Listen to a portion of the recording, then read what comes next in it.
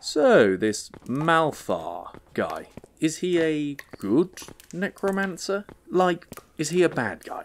Castle really has that dilapidated evil look to it, so that fits the bill.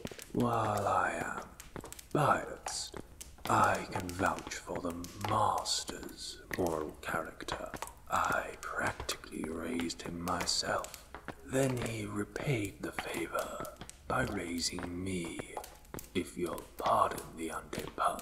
As for the state of the castle, the upkeep of an ancestral estate this size is very expensive.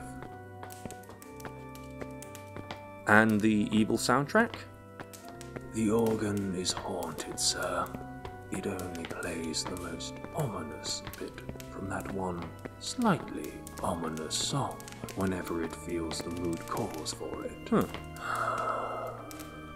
Feels that way a lot.